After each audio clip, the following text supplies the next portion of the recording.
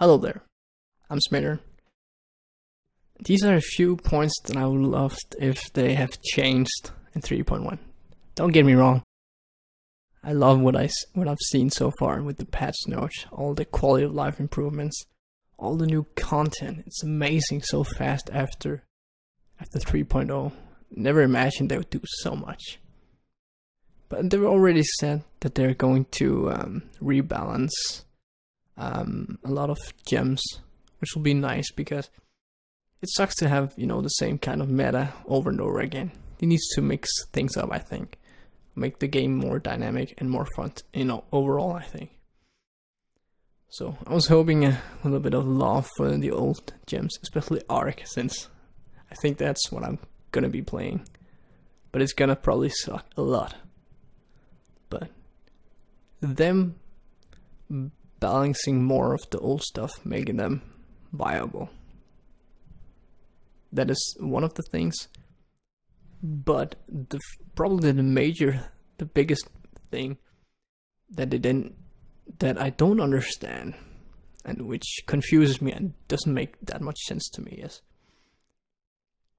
they introduced quite a few new um, gems, but instead of doing gems for all sorts of players, for people like to play all different styles, play styles. They mainly focused on corpse skills and summoning skills. That's it. No real awesome melee skills or caster skills. I mean, they, they have some supports as well.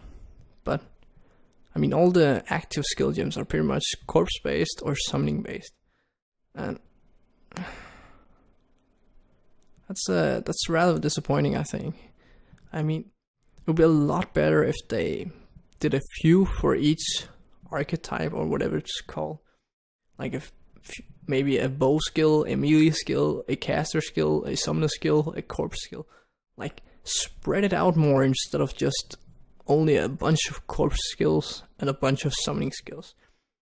It's because then you only cater to a very little portion of your players instead of trying to cater to all of them, give everyone something new and awesome to play with. But that's just uh, what I think. But I'm still super excited about 3.1. I can't fucking wait. And sorry, the ghetto setup. Um, currently in the middle of a setup, and uh, I don't want to pick this apart again. So this is ghetto setup right now. But anyways, that's kind of it. I hope they in the future do more of everything. That's just it. Thanks for watching and have a great day. Bye.